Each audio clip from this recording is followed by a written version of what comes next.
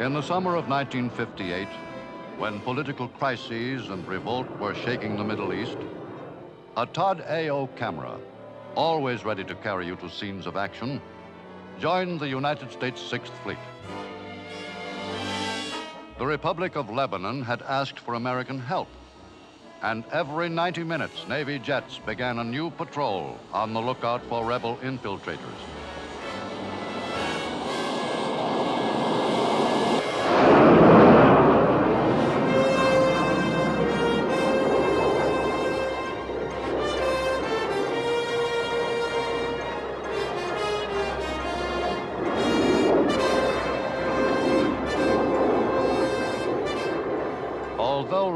A new nation, the city of Tyre was ancient in biblical times.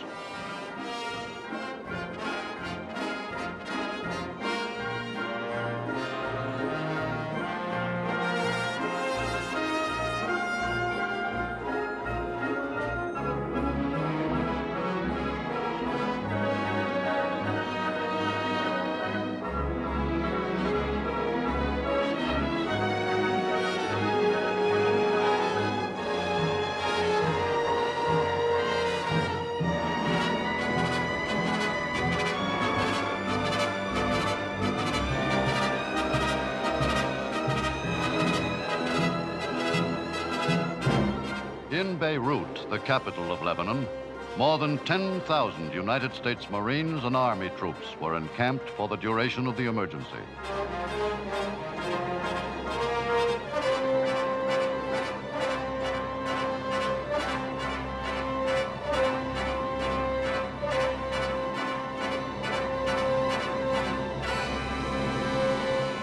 This United States Navy task force in the Mediterranean, drawn into close formation for Todd AO. Powerful Navy and Marine Corps units capable of strong action, either to preserve the peace or to take instant retaliatory action in the event of war. Completely supported and replenished from the American continent, the fleets of the United States Navy can operate in international waters anywhere without dependence upon foreign bases.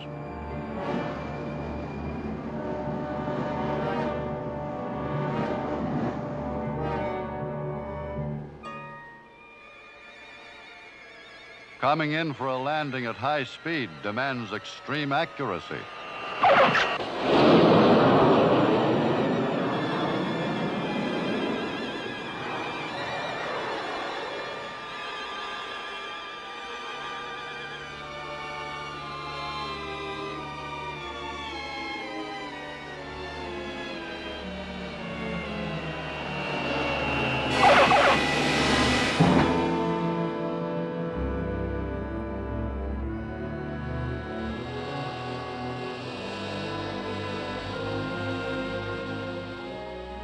Having helped to resolve the crisis in Lebanon, at least temporarily, many of the fleet units will rejoin the naval forces of NATO.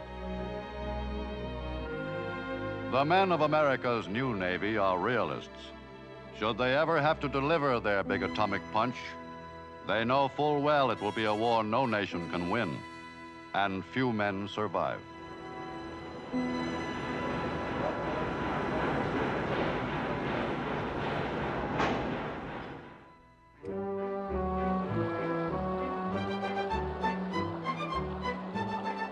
With Todd AO, there's still a chance to join the last crowds at the first World Exposition of the Atomic Age, Expo 58, the Brussels Fair.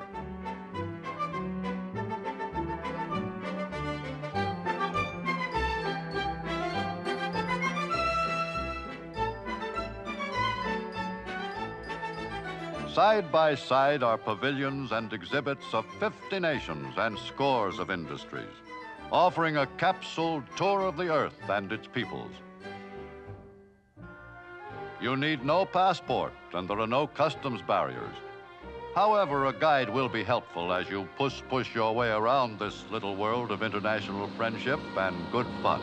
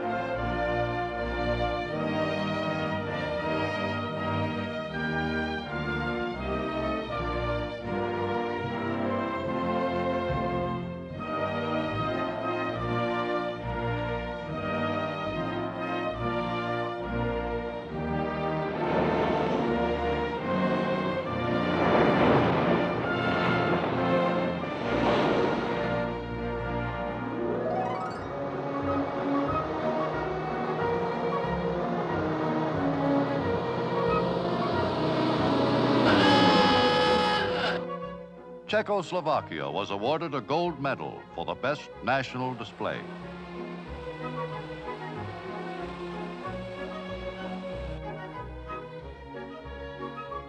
The center of attraction at the Russian pavilion, a full-scale model of Sputnik 3.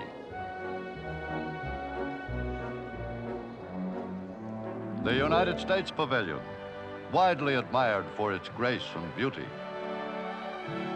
Of the 43 million who came to the fair, no one had nearly enough time to see and enjoy everything.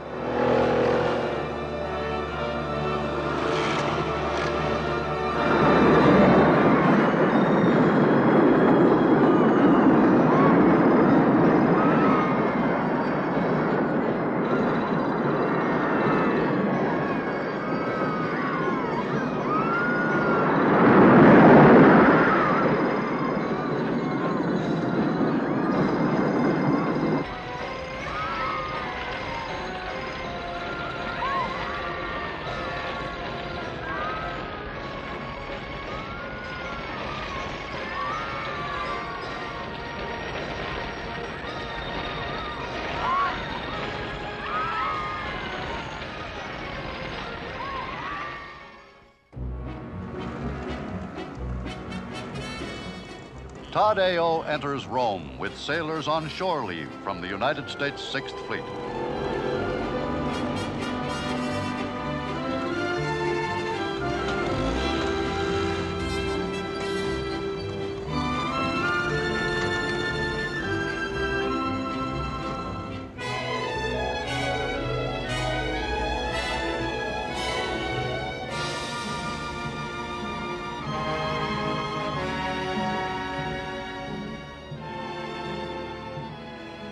As always, eternal Rome stands high in the favor of all photographers. But in the fall of 1958, world attention is on the Vatican City, where a successor to the late Pius XII, Supreme Pontiff of the Roman Catholic Church, is to be chosen.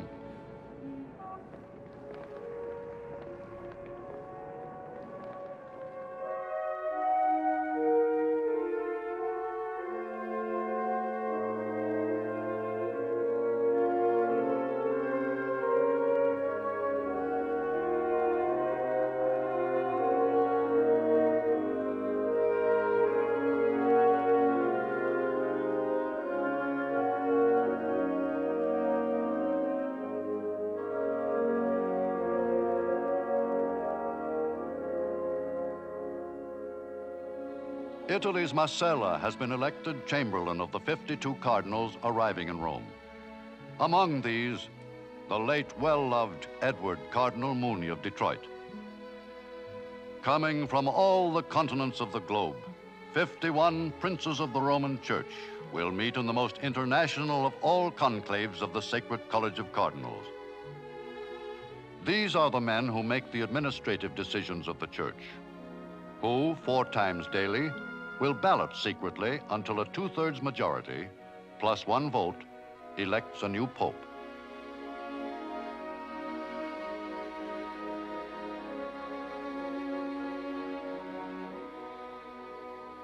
And destined for the throne of St. Peter, the 77-year-old Angelo Giuseppe Cardinal Roncalli, a humble farmer's son. As Dean of the Sacred College, Eugene Cardinal Tisserant carries the burden of the papacy.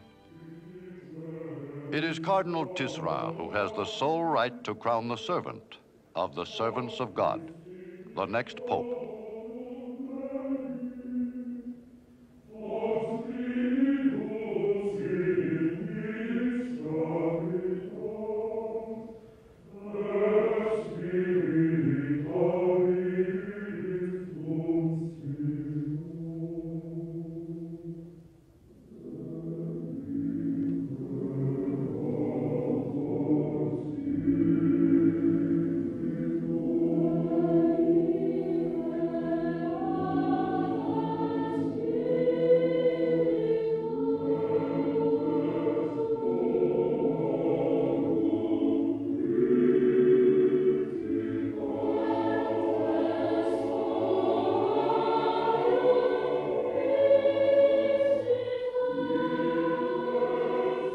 The cardinals have entered into conclave, and the balloting begins. News of the voting is to be announced twice daily. Romans, pilgrims, and visitors come together in the square of St. Peter's. When a new pope is elected, white smoke will rise from the Sistine Chapel. Black smoke means no decision and more balloting.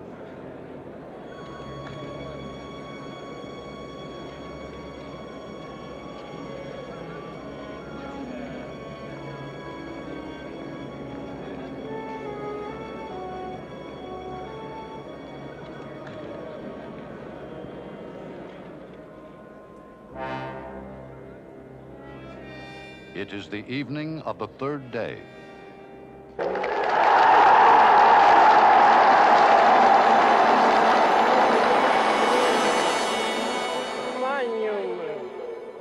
Habemus papam.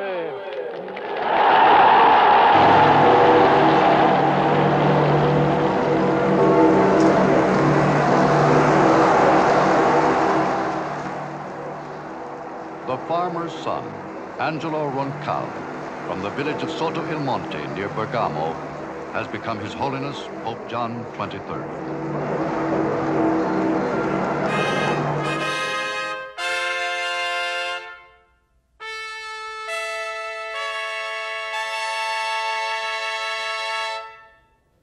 The solemn ritual of the coronation mass in the Basilica of St. Peter.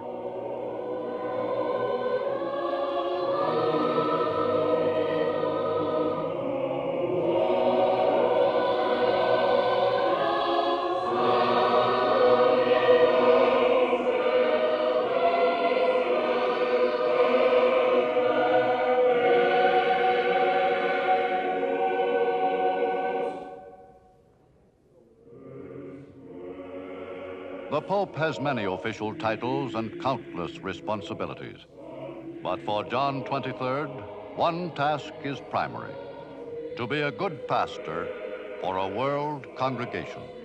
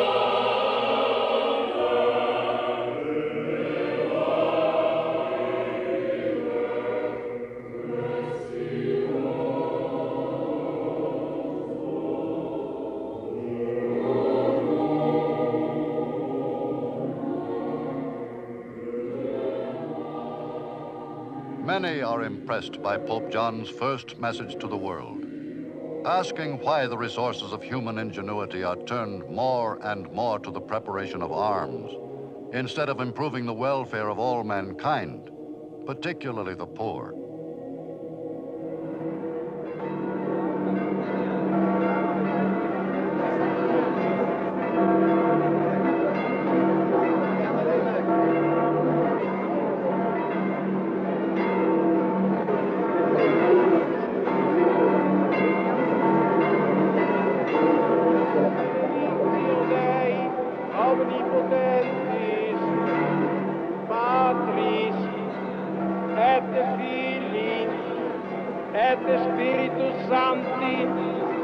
Of the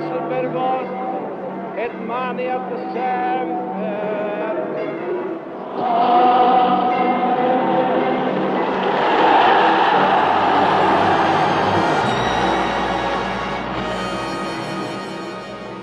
Through the living pictures of Todd AO, all people everywhere can share the memorable events of our time.